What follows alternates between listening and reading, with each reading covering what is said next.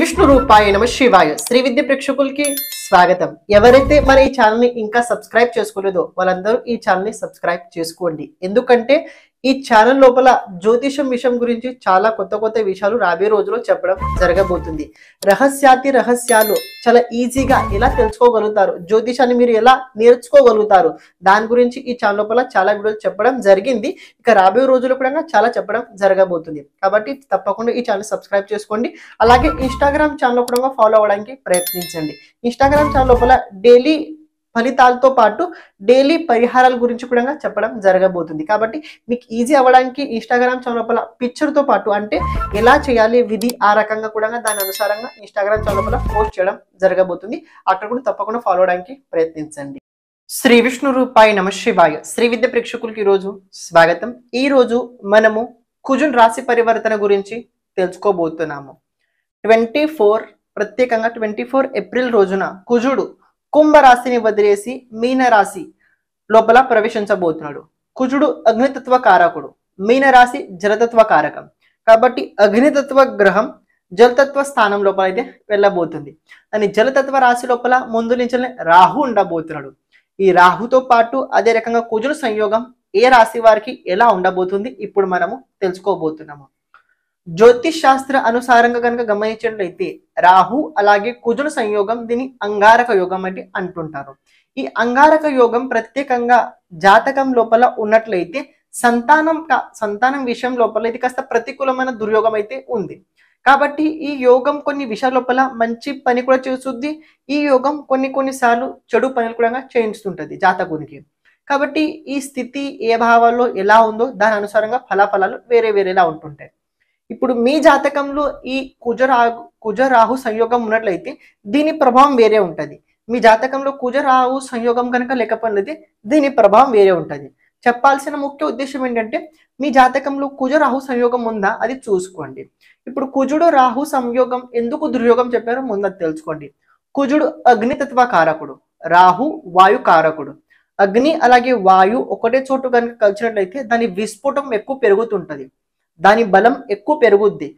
అని రాహుతో పాటు అగ్ని కల కలయిక కలవడం వల్ల రాహు దగ్గర అథారిటీ ఎక్కువ పెరుగుద్ది. రాహు మాయకారకుడు. రాహు మోహకారకుడు. రాహు లేనిది ఉన్నట్టు చూపిస్తాడు. రాహు లేనిది ఉన్నట్టు కూడా చూపిస్తాడు. ఉన్నది లేనట్టు కూడా చేయిస్తాడు. ఇది రాహు దగ్గర. కానీ కుజుడు దగ్గర ఏంటంటే కుజుడు దగ్గర బలం చాలా ఎక్కువ ఉంటుంది. కుజుడు దగ్గర బలం ఎక్కువ ఉంటుంది.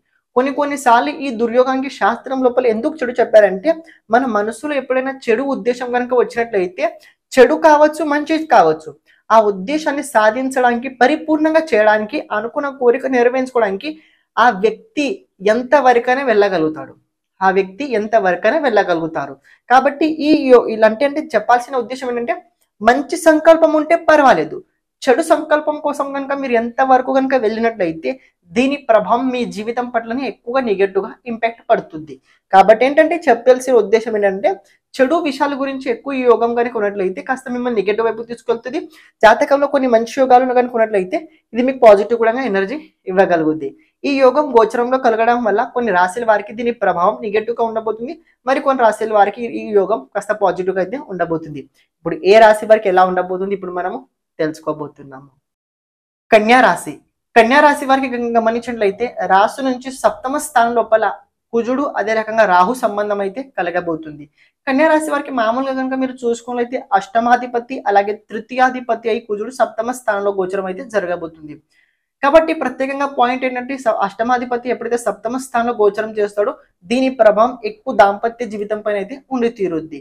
అని దాంపత్య జీవితం పైన ఉండడం వల్ల అంటే ముందు నుంచి ఏదైనా ప్రాబ్లమ్స్ కొట్లాటలు కావచ్చు ఏదైనా కావచ్చు ప్రాబ్లమ్స్ కనుక ఉన్నట్లయితే ఆ ప్రాబ్లంని మీరు కూర్చొని మాట్లాడడానికి ప్రయత్నించండి.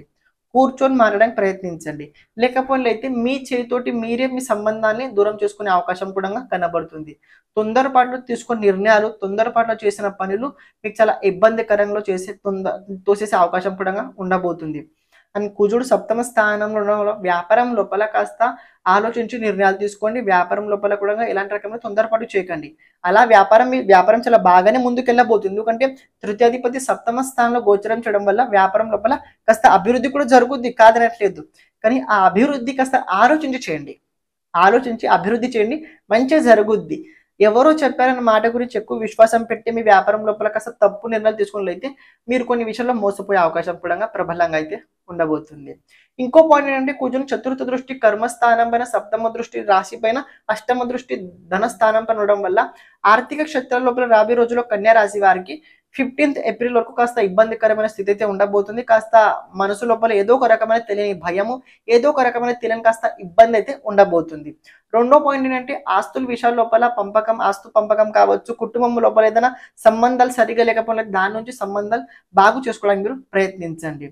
థర్డ్ పాయింట్ కనుక చూసుకున్నైతే కార్యక్షేత్రాల లోపల మీరు ఎక్కడైతే పని చేస్తున్నారో అక్కడ మీరు చేసిన పనికి సక్సెస్ అంత రేటింగ్ అయితే ఎక్కువ కనిపించట్లేదు. మీతో కార్యక్షేత్రం లోపల రాజకీయం జరిగే అవకాశం కూడా ఎక్కువ అయితే కనబడుతుంది. మీరు ఎవరైతే ఎక్కువ ప్రేమించారో ఆ వ్యక్తి నుంచే కాస్త మీరు కొన్ని విషయాల లోపల మోసపోయే అవకాశం కూడా ఉండబోతుంది. అష్టమాధిపతి సప్తమ స్థానంలో ఉండడం వల్ల మీ ఆవిడ కావచ్చు మీ ఆయన కావచ్చు వాళ్ళ ఆరోగ్యం లోపల కా- రాబోయే రోజుల్లో కాస్త ఖర్చులు అయితే ఎక్కువగా పెరగబోతున్నాయి. ఎందుకలా అంటే కుజును నక్షత్రం కనుక గమనించినట్లయితే కన్యా రాశి మకర రాశి అదే రకంగా వృషభ రాశి లోపల కూడా కనబడుతుంటాయి.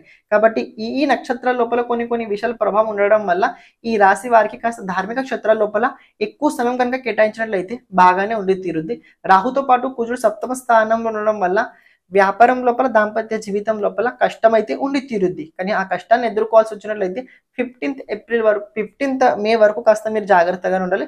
ఫిఫ్టీన్త్ మే తర్వాత మీ వ్యాపారం అదే రకంగా మీ దాంపత్య జీవితం లోపల వృద్ధి తప్పకుండా కలిగి తీరుద్ది. ఇత పూర్వంలా అయితే కోపం అయితే ఎక్కువ అయితే ఉండదు.